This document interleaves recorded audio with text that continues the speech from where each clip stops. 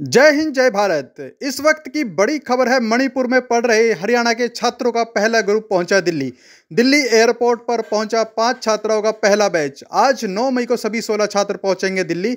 सभी मणिपुर में रह रहे बच्चों को हरियाणा सरकार की तरफ़ से दिलाई गई वापसी की टिकट। मुख्यमंत्री मनोहर लाल खुद पल पल की स्थिति पर बनाए हुए हैं नज़र। विद्यार्थियों के नाम एवं जिला इस प्रकार है। कमलकांत महेंद्रगढ़ ऋतु जिंद, शिवानी पलवल, नेहरानी सिरसा, सागर कुंडू, रोहतक। देखिए खास खबर हमारी। धन्यवाद। जय हिंद, जय भारत।